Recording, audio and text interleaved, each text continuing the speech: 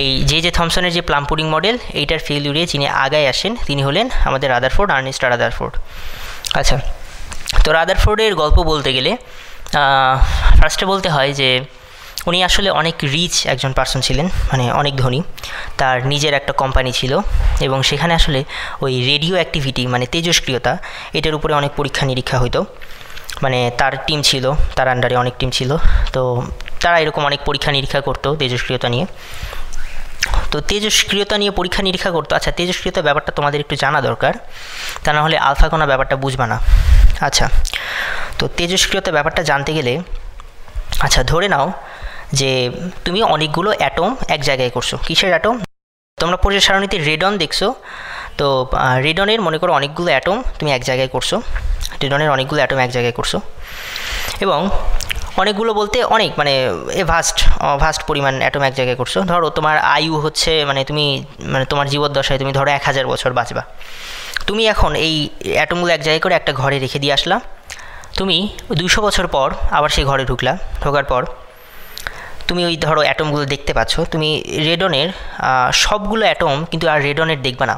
মানে দেখবা যে রেডনের কিছু কিছু অ্যাটম চেঞ্জ হয়ে গেছে। কেমন চেঞ্জ সেগুলো রেডনের অ্যাটম নাই, ধরো পোলোনিয়াম হয়ে গেছে বা অন্য কোনো অ্যাটম হয়ে গেছে। সবগুলো না কিন্তু, কয়েকটা, কিছু কিছু অ্যাটম ঠিক আছে? তো হয়তো বলতে পারো যে হ্যাঁ এটা কেন?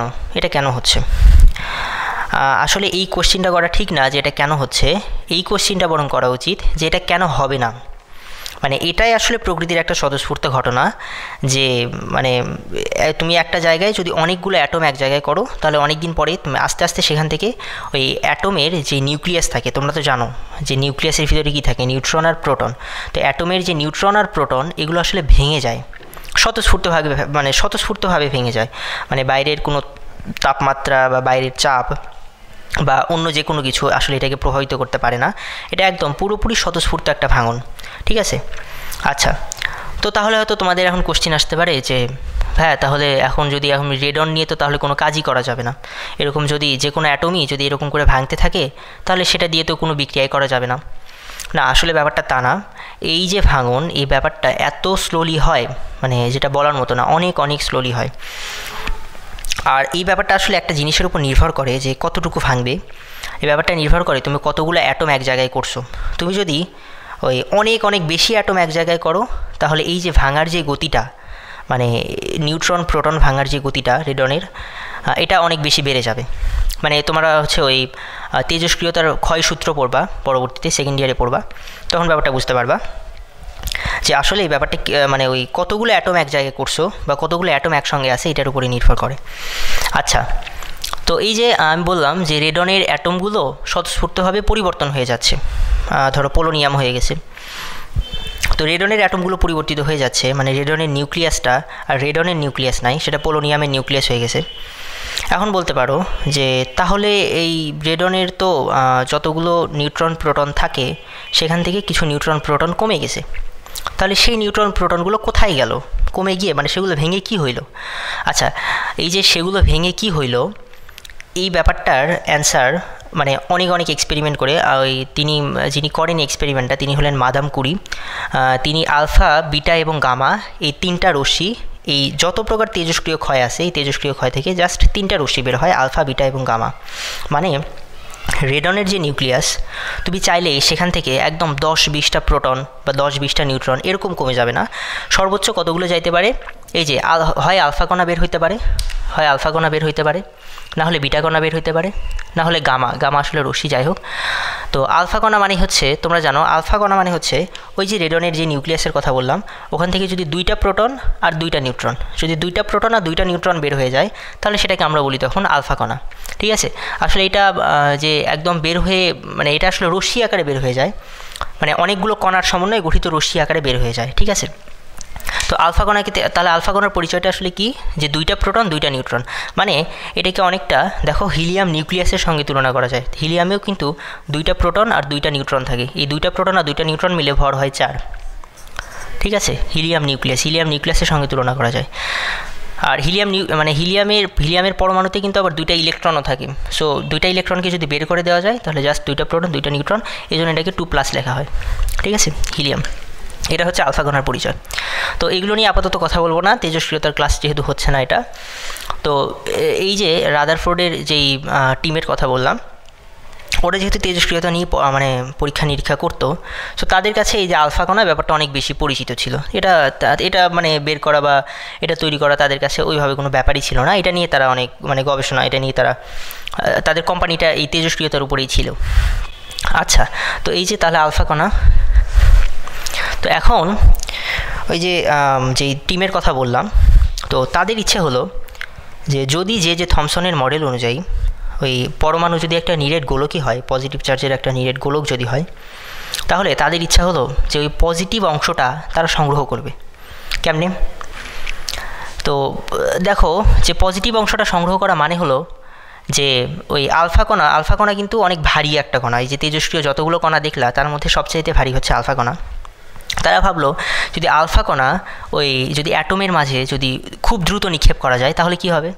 যদি আলফা কণা অ্যাটমের মাঝে খুব দ্রুত নিক্ষেপ করা যায়, এটা ধরো পজিটিভ চার্জের একটা গোলক, এর মাঝে মাঝে ইলেকট্রন আছে তাহলে আলফা কণা যদি যায় আলফা কণা কিন্তু অনেক ছোট প্লাস অনেক ভারী। তাহলে এটা কি একে ভেদ করে চলে যাবে? একদম আলফা কণা কি একে ভেদ করে চলে যাবে। আর যে অংশটা ভেদ করবে, সেটা কি হবে? মানে ওই জায়গাটা বিচ্ছিন্ন হয়ে নিচে পড়ে যাবে। তো তাদের ধারণাটা ছিল এটা, যে তারা কি করবে? পজিটিভ অংশটা সংগ্রহ করবে, পরমাণুর পজিটিভ অংশটা সংগ্রহ করবে। তো তারা এই জন্য কী করল? যে হ্যাঁ তাহলে শুরু করা যাক এক্সপেরিমেন্ট তারা এরকম কী করল? যে একটা সোনার পাত নিল। আচ্ছা এখানেও একটা তোমাদের কথা থাকে যে রাদারফোর্ডের পরীক্ষায় সোনার পাতি কেন নেওয়া হয়? সোনার পাত্রে কেন নেওয়া হয়? তোমরা আলফাগোনা সম্পর্কে যদি একটু ধারণা থাকে, তাহলে আলফাগোনা যে পজিটিভলি চার্জ সেটা দেখাই যাচ্ছে। আর আলফাগোনা সম্পর্কে যদি একটু ধারণা থাকে, যে আলফাগোনা কিন্তু ওই একটা যদি তুমি এখানে একটা কাগজ রাখো, একটা কাগজে একটা কাগজে যদি আলফাগোনা এসে পড়ে, আলফাগোনা কিন্তু একে ভেদ করে বের হয়ে যাইতে পারবে না। কারণ কারণ কি? এটা হচ্ছে তেজস্ক্রিয় কণাগুলোর মধ্যে সবচাইতে ভারী, অনেক বড়। এই জন্য এটা কী করতে পারবে না? একটা কাগজের একটা শিট এটাই ফেদ করতে পারবে না। ঠিক আছে? তো তাহলে কি করা লাগবে যে অনেক অনেক বেশি পাতলা, অনেক বেশি মানে প্রকৃতিতে পাতলা করা যায় অনেক ইচ্ছা মতো পাতলা করা যায়, এরকম কোনো একটা মেটাল লাগবে। তাই না? আচ্ছা মেটালই কেন লাগবে? কারণ হলো যদি পরমাণুগুলো মানে নিরবিচ্ছিন্নভাবে না থাকে, যদি একটার একটার পর একটা পরমাণু এরকম না থাকে, তাহলে কিন্তু আলফাগোনা এই যে পরমাণুর মাঝে যদি এরকম ফাঁকা জায়গা থাকে বা ফাটল থাকে, তাহলে সেদিক দিয়ে কিন্তু আলফাগোনা এরকম বের হয়ে যাবে। ঠিক আছে, আলফা আলফাগোনা কিন্তু এদিক দিয়ে বের হয়ে যাবে। এটা কিন্তু মানে এটা তাহলে তো কাজ হবে না, তাই না? তো এই জন্য কী করা লাগবে যে, নিরবিচ্ছিন্ন হওয়ার জন্য বা নিরবিচ্ছিন্ন অ্যাটমের নিরবিচ্ছিন্ন সজ্জার জন্য অবশ্যই একটা মেটালের প্লেট লাগবে।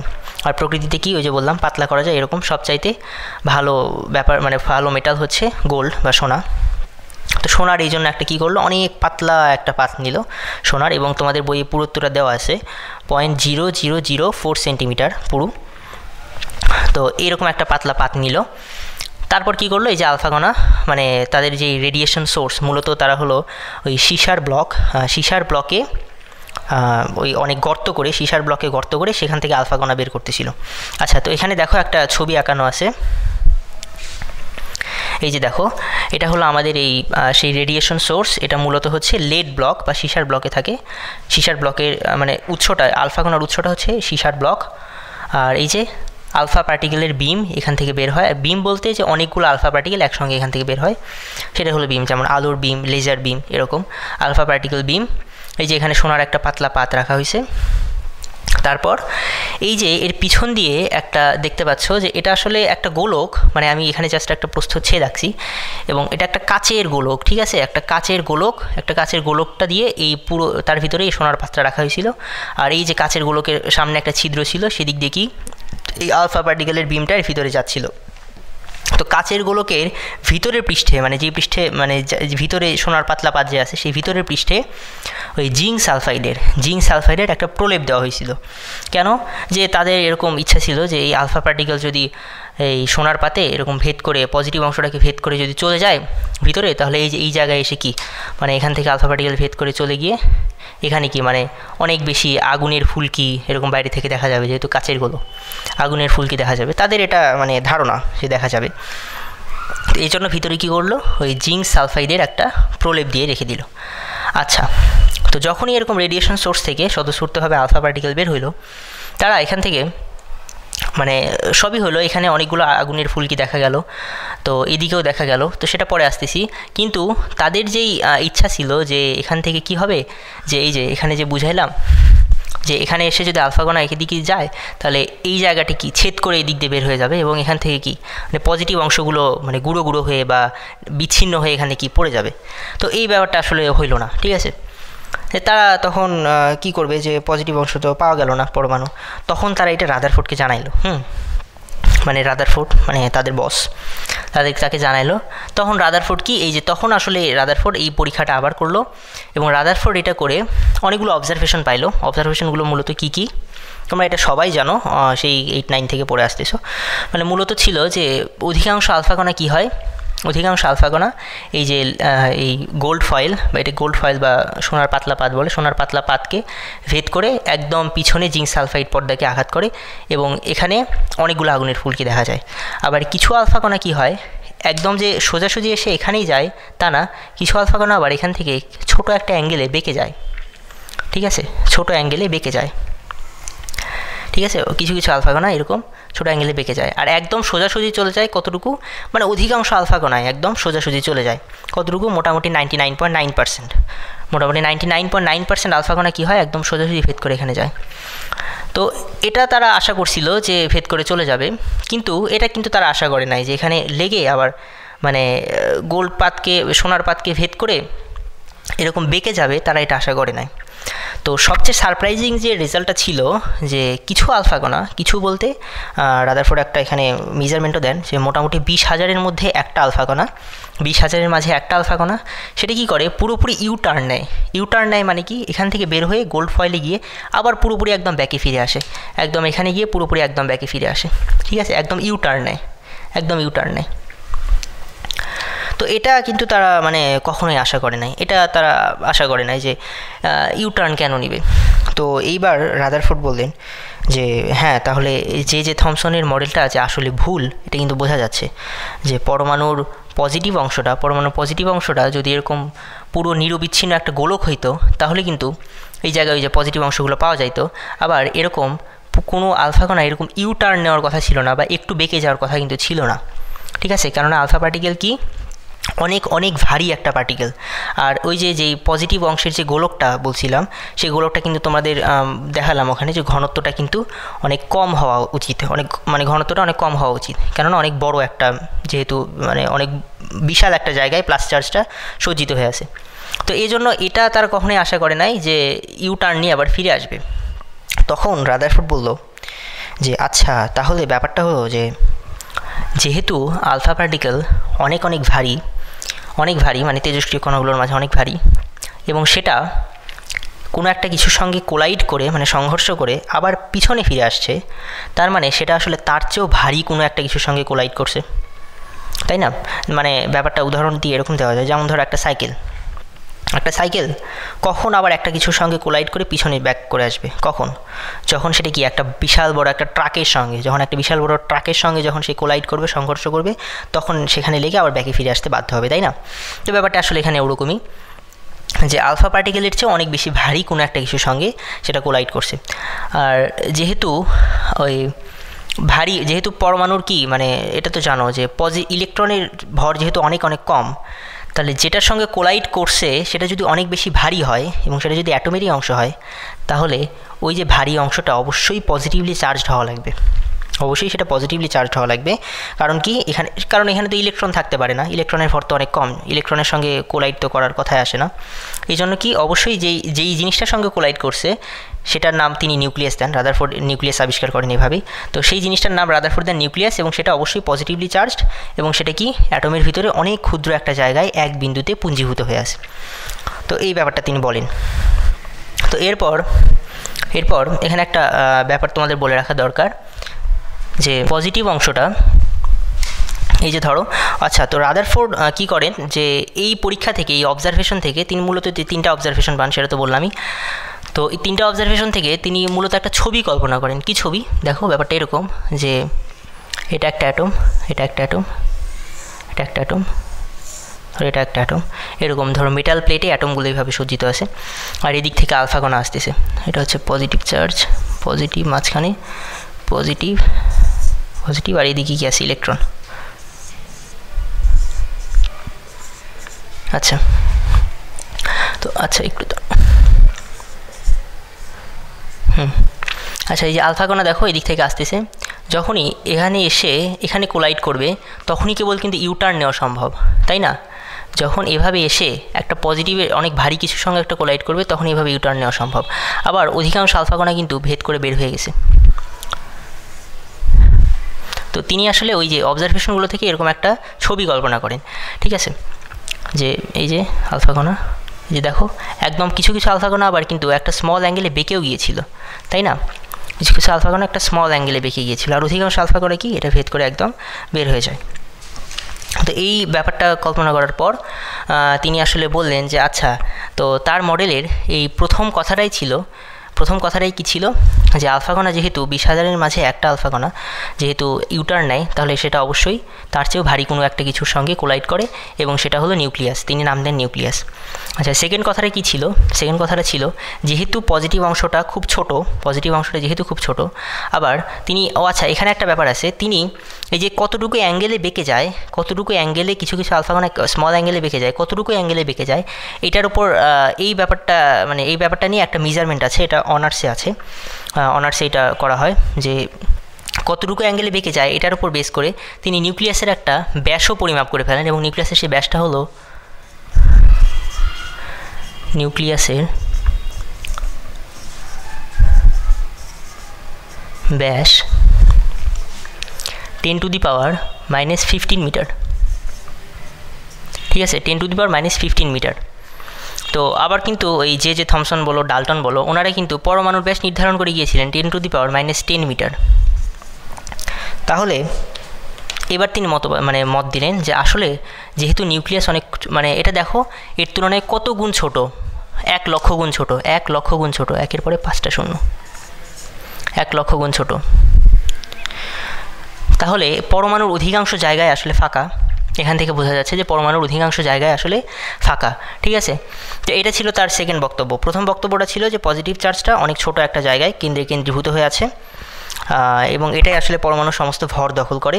আর সেকেন্ড কথাটা ছিল যে পরমাণুর অধিকাংশ জায়গায় আসলে ফাঁকা। আচ্ছা তো এটা আবার কিন্তু পরমাণু যে নিউট্রাল হবে, এটা তো বোঝা যাচ্ছে, এটা তো সবাই বলে গেছে যে পরমাণু অবশ্যই নিউট্রাল হবে। তো এখন তিনি বললেন, তিনি যে মোস্ট ইম্পর্ট্যান্ট যে কথাটা বললেন, যেটা আগে কেউ বলে নাই, তিনি বললেন যে ইলেকট্রন ইলেকট্রন আসলে নিউক্লিয়াসকে কেন্দ্র করে ঘোরে মানে ইলেকট্রন নিউক্লিয়াসকে কেন্দ্র করে বৃত্তাকার পথে আবর্তন করে। তো এই ব্যাপারটা এই ব্যাপারটা মানে আগে কেউ বলেন নাই, তার তার মাথায় এটা কীভাবে আসলো? যে ইলেকট্রন আসলে নিউক্লিয়াসকে কেন্দ্র করে ঘোরে। তো আমি বলব যে রাদারফোর্ড যেভাবে একদম পরীক্ষাটা করেছিলেন, মোটামুটি যে লজিকে তিনি মানে এগিয়েছেন, মোটামুটি সব কিছুই এখন তোমরা জানো। কিন্তু এই ব্যাপারটা কীভাবে হয়, আমি চাচ্ছি এটা তোমরা একটু ভাবো হ্যাঁ? আমি চাচ্ছি যে তোমরা ভিডিওটা একটু হলেও পজ করো এক মিনিট এবং এটা পজ করে একটু হলেও ভাবো যে এই আলফা পার্টিকেল এক্সপেরিমেন্ট থেকে তিনি এটা কীভাবে বুঝলেন যে ইলেকট্রন আসলে নিউক্লিয়াসকে কেন্দ্র করে ঘোরে? ঠিক আছে? আচ্ছা তো তোমরা একটু ভাবো।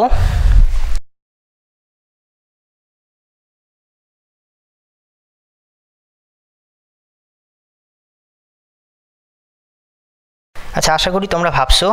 আর যদি মানে আশা করতেছি তোমরা সবাই এটা পারছ, তাও আমি দেখাচ্ছি হ্যাঁ? যে আচ্ছা দেখো, না ঘুরে কিন্তু আসলে উপায় নেই। কেন উপায় নেই? যে, তিনি বললেন, পরমাণুর অধিকাংশ জায়গায় আসলে ফাঁকা এবং প্লাস চার্জটা একদম কেন্দ্রে কেন্দ্রীভূত। তাহলে ইলেকট্রনটা অবশ্যই নিউক্লিয়াসের ভিতরে থাকবে না। এটা তো বোঝা যাচ্ছে ইলেকট্রন নিউক্লিয়াসের ভিতরে কীভাবে থাকবে। তো ইলেকট্রনটা অবশ্যই তাহলে নিউক্লিয়াসের বাইরে কোনো একটা জায়গায় আছে। কেননা কি? মানে অ্যাটমের শেপ তো বজায় রাখা লাগবে, তাই না? তো অ্যাটমের শেপ বজায় রাখা লাগবে। তো এখন যদি ইলেকট্রনটা বাইরে কোনো একটা জায়গায় থাকে, ধরো এখানে আসে তো এখন পজিটিভ চার্জ এটা নেগেটিভ চার্জ অবশ্যই কী হবে? এটা যেহেতু অনেক ভারী, তাহলে একে কি একদম নিচের দিকে টানবে?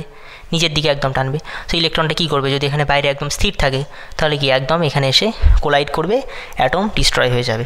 সো অ্যাটমের স্ট্যাবিলিটি রক্ষা করার জন্য অবশ্যই ইলেকট্রনকে ঘোরা লাগবে। তা না হলে কী হবে? এই যে, এই যদি ঘোরে, তখন কি হবে? এই যে যেই এটা আসলে এফসি এফসি মানে হচ্ছে সরি এফসি না এটা হচ্ছে এফই মানে এটা কুলম্বীয় বল, ঠিক আছে? যে ইলেক পজিটিভ চার্জ নেগেটিভ চার্জকে টানবে, এটা হচ্ছে কুলম্বীয় বল। যদি ঘোরে, তখনই কেবল এই কুলম্বীয় বলটা সেন্ট্রিপেটাল ফোর্স মানে কেন্দ্রমুখী বল হিসেবে ব্যবহৃত হবে। তিনি বললেন যে আসলে এই যে পজিটিভ আর নেগেটিভ চার্জের মাঝে যে কুলম্বীয় বল, এটা আসলে ইলেকট্রন তার ঘোরাতে ব্যয় করতেছে এবং সেটা তখন কেন্দ্রমুখী বল হিসাবে ইউজ হচ্ছে। তিনি বললেন F E equal to F C F E মানে হচ্ছে ইলেকট্রন আর নিউক্লিয়াসের মাঝে যে বল, সেটা আসলে কেন্দ্রমুখী বল বা সেন্ট্রিপেটাল ফোর্স এফ সিতে সেন্ট্রিপেটাল ফোর্স আর এটা হচ্ছে ইলেকট্রোম্যাগনেটিক ফোর্স আচ্ছা তো তিনি কিন্তু এখান থেকে ইকুয়েশন একদম প্রুফ করে মানে একদম ইলেকট্রন কীভাবে ইলেকট্রনের গতিশক্তি বলো বা ইলেকট্রনের স্থিতিশক্তি বলো ইলেকট্রন কীভাবে শক্তি ব্যয় করে শক্তি বিকিরণ করে বা শক্তি গ্রহণ করে, তো এই মানে রাদারফোর্ড কিন্তু মোটামুটি সবই বলতে পেরেছিলেন, ঠিক আছে? তো এটাই হচ্ছে কথা যে যদি অ্যাটমের স্ট্যাবিলিটি রক্ষা করার জন্যই মূলত ইলেকট্রনকে নিউক্লিয়াসের চারপাশে ঘুরতে হবে, তা নাহলে কোনো উপায় নাই। আচ্ছা। তো এখন হলো কথা যে, ঠিক আছে, তাহলে মোটামুটি রাদারফোর্ডের মডেল তো বোঝা গেল। তো এখন তিনি আসলে কি ক্যালকুলেশনগুলো করেছিলেন সেটা নিয়ে একটু কথা বলা দরকার। আবার এটাও তোমাদের বলে রাখি যে, রাদারফোর্ডের মডেলটাও মানে তোমরা কিন্তু এটা নাইনটিনে পড়ছো বা হ্যাঁ তোমরা এটা এটা নিয়ে অনেক পড়ছো, এটা নিয়ে সমস্যা নাই। কিন্তু তোমরা হয়তো এটা জানো না যে রাদারফোর্ড মোটামুটি একটা পদার্থ কীভাবে উত্তপ্ত হয় বা একটা পদার্থ উত্তপ্ত হইলে সেটার কী হবে? সেটা কীভাবে শক্তি বিকিরণ করবে? এই ব্যাপারগুলো জাস্ট এই অ্যাটমিক মডেল থেকে বলেছিলেন। তোমরা হয়তো এগুলো ব্যাপার জানো না। ঠিক আছে? তো আবার তোমরা মানে তোমাদের বইয়ে মূলত ওই নীলস বোর, নীলস বোর্ডের যে মডেল সেখান থেকে ওই ইকুয়েশনগুলো প্রুফ করা আছে। কিন্তু রাদারফোর্ডও কিন্তু এই ইকুয়েশনগুলো দিয়েছিলেন। রাদারফোর্ড মূলত এই যে শক্তির ইকুয়েশনগুলো কিন্তু রাদারফোর্ড দিয়েছিলেন। ঠিক আছে? তো আমি সেগুলো একটু তোমাদের দেখাচ্ছি এখন। তাহলে দেখো যে, এই যে F E equal to F C দেখো, এখান থেকে অনেক কিছু প্রুফ হয়, দেখো। F equal to F C তার মানে এফি কিন্তু কি ইলেকট্রোম্যাগনেটিক ফোর্স তোমরা জানো যে দুইটা চার্জের মাঝে, দুইটা চার্জ যদি আর দূরত্বে থাকে কিউ ওয়ান কিউ টু তাহলে তাদের মাঝের বলটা হচ্ছে one by four pi epsilon nought q one q two divide by r square তাহলে এই যে দেখো, এখানে আছে পজিটিভ চার্জ মানে নিউক্লিয়াস আর সেটাকে কেন্দ্র করে ইলেকট্রন কী করতেছে? ঘুরতেছে। তাহলে এদের মাঝে যে কুলম্বীয় ফোর্স সেটা কত হবে? প্রোটনের চার্জ মানে one by four pi epsilon nought one by four pi epsilon nought. ইলেকট্রনের চার্জ, নিউক্লিয়াসের চার্জ ডিভাইডেড বাই এদের মাঝখানের দূরত্বের উপরে স্কোয়ার এর মাঝখানের দূরত্বটা যদি আর ধরো। তাহলে ইলেকট্রনের চার্জটা হলো কি? ইলেকট্রনের চার্জ মানে হচ্ছে ই আর ইকে মানে ই তো জানো one point six ten to the power minus nineteen coulomb. আবার যদি ইলেকট্রনের চার্জ বলা হয়, তাহলে কিন্তু সেটা মাইনাস ই হ্যাঁ? এটা মানে ইলেকট্রনের চার্জ এটা এটা মূলত প্রোটনের চার্জ কিন্তু সেটাকে ই লেখা হয়। হ্যাঁ কিন্তু ইলেকট্রনের চার্জ যদি বলা হয়, তাহলে সেটা কিন্তু মাইনাস ই ই মানে হচ্ছে one point six ten to the power minus nineteen তাহলে মাইনাস ই মানে minus one point six ten to the power minus nineteen তাহলে দেখো, যদি আমরা সবচেয়ে সিম্পলেস্ট অ্যাটমটা নিয়ে কাজ করি সবচেয়ে সিম্পলেস্ট অ্যাটম হচ্ছে কি? হাইড্রোজেন অ্যাটম তো হাইড্রোজেন অ্যাটমটা নিয়ে যদি কাজ করি, সেখানে কী থাকে? একটা প্রোটন একটা ইলেকট্রন তাহলে একটা প্রোটন তাহলে একটা প্রোটনের চার্জ হচ্ছে ই আর একটা ইলেকট্রন সেই ইলেকট্রনের চার্জটা হচ্ছে মাইনাস ই কিন্তু দেখো, আমরা যখন কুলম্বীয় ফোর্স নিয়ে কাজ করতেছি, তো ফোর্সের মাঝখানে তো নেগেটিভ চিহ্ন দেওয়ার কথা না মানে নেগেটিভ চিহ্ন দেওয়া হয় না মানে e into e divided by r square আচ্ছা মানে আমরা তো ফোর্সের দিকটা এখানে দেখাই দিছি, যে সেটা কি ইলেকট্রন থেকে প্রোটনের দিকে। আচ্ছা আর এফসি হচ্ছে সেন্ট্রিপিটাল ফোর্স তোমরা জানো যে এই যে একটা বিন্দুকে কেন্দ্র করে যদি কোনো বস্তু ঘোরে, যদি একটা বিন্দুকে কেন্দ্র করে কোনো বস্তু ঘোরে তাহলে কি হয়? যে সবসময় কেন্দ্রের দিকে সে একটা বল অনুভব করে। সবসময় কেন্দ্রের দিকে তার একটা বল থাকে এবং সেই বলটা হচ্ছে সেন্ট্রিপিটাল ফোর্স যেটার মান হচ্ছে এই বস্তুটার ভর যদি হয় এম সে যদি ভি বেগে মুভ করে আর এই দূরত্বটা কেন্দ্র থেকে তার দূরত্ব যদি হয় আর তাহলে এই সেন্ট্রিপিটাল ফোর্স হচ্ছে m v square divided by r এটা তোমরা জানো, এটা ফিজিক্সে পড়ছো। দেখো, তাহলে এখানে আমি যদি ইলেকট্রন যেহেতু প্রোটনকে কেন্দ্র করে ঘুরতেছি, আমরা যদি ইলেকট্রনের ভরটাকে এম ধরি, মাঝখানে দূরত্ব আর আর ইলেকট্রন যদি ভি বেগে মুভ করে ইলেকট্রন যদি ভি বেগে মুভ করে। তাহলে ইলেকট্রনের কেন্দ্রমুখী বল হচ্ছে m v square divided by r আচ্ছা তো দেখো এখান থেকে আমরা মূলত এখান থেকে গতিশক্তিটা প্রুফ করব, গতিশক্তির ইকুয়েশনটা প্রুফ করব, দেখো। এখান থেকে দেখো দুই পাশ থেকে আর আর ক্যান্সেল হয়ে যায় এম ভি স্কোয়ার তাহলে দেখো আমি যদি দুই পাশে হাফ দিয়ে গুণ করে দিই, তাহলে ডান পাশে হাফ এম ভি স্কোয়ার থাকতেছে। আর এই পাশে হচ্ছে half into one by four pi epsilon nought e square divided by r equal to half m v square আর হাফ এম ভি স্কোয়ার মানে হচ্ছে E K energy kinetic kinetic energy electronic kinetic energy এটা। আচ্ছা তো দেখো এখন তাহলে electronic kinetic এনার্জিকে একবারে লেখা যায়। ইকে ইকুয়াল টু হয় হাফ ইন্টু আচ্ছা এখানে একটা ব্যাপার দেখো যে এই যে one by four pi epsilon nought r one by four pi epsilon nought r এই পুরো sorry sorry one by four pi epsilon nought r না one by four pi epsilon nought e square one by four pi epsilon nought r উপরে e square এই পুরো অংশটা কিন্তু একটা ধ্রুবক। আচ্ছা টুর কথা বাদ দেওয়া আপাতত। এই পুরো অংশটা কিন্তু একটা ধ্রুবক, তাই না? এই দেখো, আমি যদি এইভাবে লিখি যে e square divided by four pi epsilon nought square divide by four pi epsilon nought into one by r তাহলে আমি যদি পুরোটাকে একটা ধ্রুবক হিসেবে কল্পনা করি, তাহলে সেই ধ্রুবকটা হচ্ছে কে তাহলে ইকে ইকুয়াল টু লেখা যায় যে E K equal to k by two r ঠিক আছে? যে উপরে একটা ধ্রুবক আর নিচে হচ্ছে টু আর তার মানে ব্যাপারটা হলো কি? এখান থেকে কিন্তু মানে অ্যামেজিং একটা জিনিস বের হয়। কি অ্যামেজিং জিনিস? এই কোয়েশনটা থেকে বলা যায়। কি জিনিস? দেখো যে ইলেকট্রনের গতিশক্তি ইলেকট্রনের গতিশক্তি শুধুমাত্র এবং শুধুমাত্র নিউক্লিয়াস থেকে ইলেকট্রনের দূরত্বের উপরে নির্ভর করে। ব্যাপারটা কি বুঝতে পারছ? ইলেকট্রনের গতিশক্তি শুধুমাত্র এবং শুধুমাত্র ইলেকট্র এই যে আর এর উপর নির্ভর করে। আর মানে হচ্ছে নিউক্লিয়াস থেকে ইলেকট্রনের দূরত্ব। আচ্ছা তো এই ব্যাপারটার হয়তো বা তোমরা মানে ব্যাপারটা বুঝতে পারতেছো না যে এটার এখানে এত অ্যামেজিং কী হলো? তো দেখো যে আমরা জানি মানে গতিশক্তি মানে হচ্ছে হাফ এম ভি স্কোয়ার গতিশক্তি মানে হলো হাফ এম ভি স্কোয়ার কিন্তু এই জায়গায় হাফ এম ভি স্কোয়ার মানে হাফ এম ভি স্কোয়ারের মাঝে এম আছে ভি আছে, কিন্তু এই ইকুয়েশনে এই ইকুয়েশনে দেখো শুধুমাত্র ইকের জায়গায় আর আছে। তার মানে ইকে শুধুমাত্র আরের উপর নির্ভর করে। ব্যাপারটা হলো যে আর যত বাড়বে, দেখো আর যত বাড়বে ইকে কিন্তু তত কমে যাবে।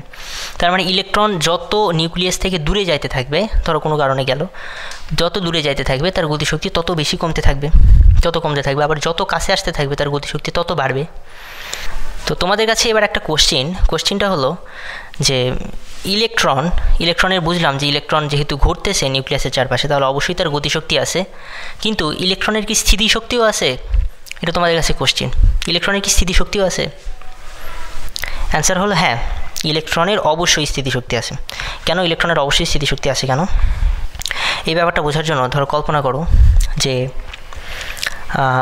তুমি কী করছ? অভিকর্ষ বলক্ষেত্র মানে ভূপৃষ্ঠের উপরে কী হয় সবসময়? অভিকর্ষ বলক্ষেত্র, তাই না? মানে সবসময় অভিকর্ষ বলক্ষেত্র নিচের দিকে কাজ করে, এটা তো সবাই জানো। এবার অভিকর্ষ বলক্ষেত্রে তুমি কী করছ? খুব সিম্পল একটা কথা, যে ধরো এই কলমটা মাটিতে ছিল, এই কলমটা মাটি থেকে আস্তে আস্তে এইভাবে কী করছ? উপরে উঠাইছো, এই পর্যন্ত উঠাইছো, ঠিক আছে?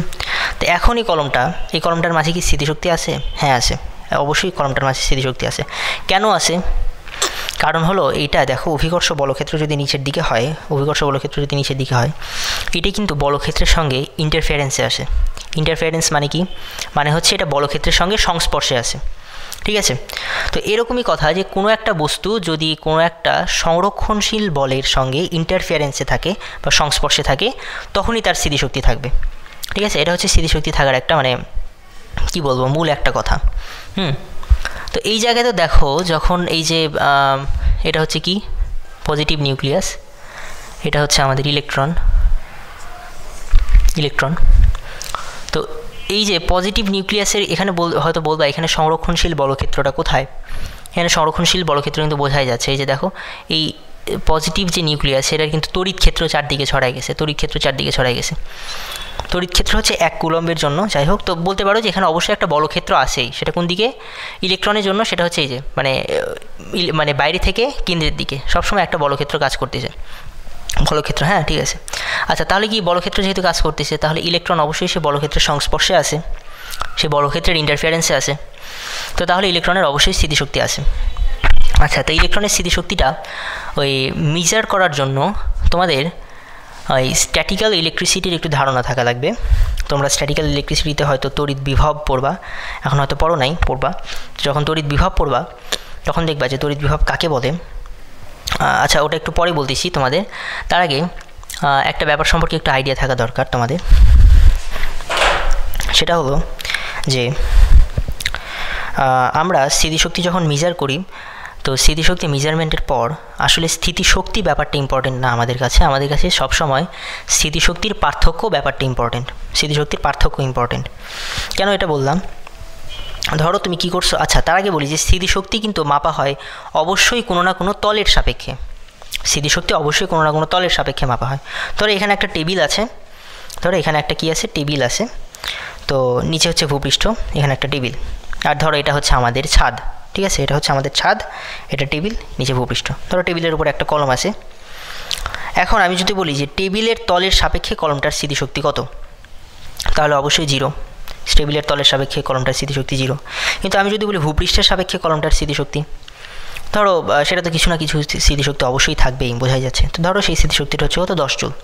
আচ্ছা আমি যদি এইবার বলি যে ছাদের তলের সাপেক্ষে, ছাদের তলের সাপেক্ষে এই কলমটার স্মৃতিশক্তি কত? সেটারও কিন্তু একটা মেজারমেন্ট আছে। সেটা কত? মাইনাস টেন জুল, ধরে নাও মাইনাস সেটা হচ্ছে মাইনাস টেন জুল। আচ্ছা তো কোনো একটা তলের সাপেক্ষে স্মৃতিশক্তি টেন জুল সেই কথাটার অর্থ কী? কথা হলো, এই যে ভূপৃষ্ঠের সাপেক্ষে কলমটার স্মৃতিশক্তি টেঞ্জলি কথাটার অর্থ হচ্ছে, স্যার আমাদের বারবার বলেছেন এসব, যে এক সময় কলমটা ভূপৃষ্ঠে ছিল। এক সময় কলমটা ভূপৃষ্ঠে ছিল। তারপর সেখান থেকে কি? এই যে অভিকর্ষ বলক্ষেত্র নিচে। বাহ্যিক বলের প্রভাবে কলমটাকে আস্তে আস্তে আস্তে আস্তে আস্তে আস্তে এনে টেবিলের উপরে রাখা হয়েছে। ঠিক আছে?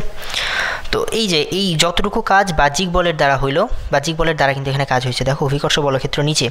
তো কলমটাকে উঠাইতে হলে অবশ্যই বাহ্যিক বলটা উপরের দিকে হওয়া লাগবে এবং দেখো, বোঝাই যাচ্ছে ভূপৃষ্ঠ থেকে যখন কলমটা উপরে উঠাবা, তখন কলমের স্মরণটা উপরের দিকে, বাহ্যিক বল উপরের দিকে। সো কি এই ক্ষেত্রে বাহ্যিক বলের দ্বারা কাজটা পজিটিভ হ্যাঁ? তাহলে এক্ষেত্রে ক্ষেত্রে স্মৃতিশক্তিটাও পজিটিভ আবার আমি যখন বললাম যে ছাদের তলের সাপেক্ষে কলমটার স্মৃতিশক্তি কত? মাইনাস টেন জুল এটার অর্থ কি? এটার অর্থ হচ্ছে কলমটা একসময় ছাদের তলে ছিল, সেখান থেকে কি? বাহ্যিক বলের প্রভাবে আস্তে আস্তে আস্তে আস্তে আস্তে আস্তে আস্তে টেবিলের উপরে রাখা হয়েছে। তো এখানে নেগেটিভ কেন? এই যে দেখো, অভিকর্ষ বলক্ষেত্র নিচের দিকে, অভিকর্ষ বলক্ষেত্র নিচের দিকে। তাহলে কলমটাকে যখন আমি ছাদ ছাদের তল থেকে এভাবে এভাবে আনতেছি, তার মানে কি? আমার হাতের দ্বারা বাহ্যিক বলটা উপরের দিকে, আর কলমটাকে যেহেতু নিচের দিকে আনতেছি, তার মানে স্মরণটা নিচের দিকে। তাহলে বল যেদিকে, স্মরণ তার বিপরীত দিকে, তার মানে বাহ্যিক বলের দ্বারা কাজটা এই ক্ষেত্রে নেগেটিভ তার মানে এই জন্য ছাদের তলের সাপেক্ষে এই কলমটার স্মৃতিশক্তি নেগেটিভ আচ্ছা। তাহলে অবশ্যই বোঝা গেল যে স্মৃতিশক্তি অবশ্যই কোনো না কোনো তলের সাপেক্ষে হয়। আবার আমি বললাম আমি বললাম যে আমাদের কাছে স্মৃতিশক্তিটা ইম্পর্টেন্ট না, স্মৃতিশক্তির পার্থক্যটা ইম্পর্টেন্ট কেন? ধরো তুমি ভূপৃষ্ঠে ভূপৃষ্ঠে আছো তুমি তুমি ভূপৃষ্ঠে আছো। তো ভূপৃষ্ঠের সাপেক্ষে তাহলে তোমার স্মৃতিশক্তি কত? জিরো জুল, ভূপৃষ্ঠের সাপেক্ষে তোমার স্মৃতিশক্তি জিরো এবার তুমি হয়তো বলতে পারো যে হ্যাঁ জিরো জুল, তাহলে এটা দিয়ে তো কোনো কাজই হবে না, তাই না? আসলে ব্যাপারটা তা না। ধরো তুমি ভূপৃষ্ঠের উপরেই আছো, এখন সামনে কোনো একটা গর্ত করা হলো বিশাল বড় একটা গর্ত করা হলো গর্তের যে তল, গর্তের যে একদম গর্তের একদম নিচের যে মেঝে, সেটার সাপেক্ষে কিন্তু তোমার স্মৃতিশক্তি আছে, তাই না? সেটার সাপেক্ষে তোমার স্মৃতিশক্তি আছে, কিন্তু ভূপৃষ্ঠের সাপেক্ষে জিরো। তাহলে তুমি যদি গর্তের মাঝে পড়ে যাও, তাহলে তোমার হাত পা ভেঙে যাবে। তোমার অনেক ব্যথা লাগবে। তো এই ব্যাপারটা, এই যে হাত পা ভেঙে যাওয়ার যে কাজটা, তাহলে এই কাজটা কই থেকে আসলো? তোমার তো স্মৃতিশক্তি জিরো ছিল না, এই ক্ষেত্রে ব্যাপারটা আসলে তা না। এই জন্যই বললাম যে স্মৃতিশক্তি ইম্পর্টেন্ট না, পার্থক্যটা ইম্পর্টেন্ট ভূপৃষ্ঠের সাপেক্ষে তোমার স্মৃতিশক্তি জিরো বাট গর্তের তলের সাপেক্ষে তোমার স্মৃতিশক্তি টেন জুল তার মানে স্মৃতিশক্তির পার্থক্যটা আসলে কত? টেন মাইনাস জিরো মানে টেন জুল তার মানে এই যে টেন জুল এই টেন জুলটাই তোমার হাত পা ভাঙতে ব্যয় হয়েছে। ব্যাপারটা বুঝতে পারছ? এই জন্য সবসময় স্মৃতিশক্তিটা ইম্পর্টেন্ট না। দুইটা তলের সাপেক্ষে স্মৃতিশক্তির পার্থক্যটাই আমাদের জন্য ইম্পর্টেন্ট অনেক বেশি।